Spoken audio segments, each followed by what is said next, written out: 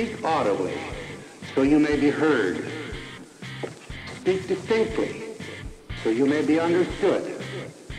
And speak with life and enthusiasm so you may be pleased. Great minds think alike. Fools seldom differ.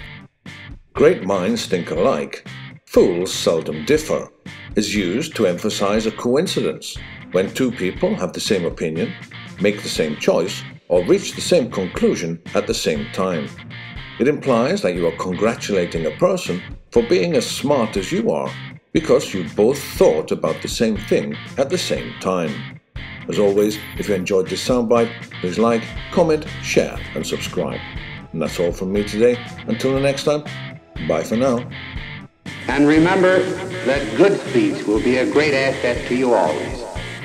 Is the mark of a cultured person and a well-developed personality.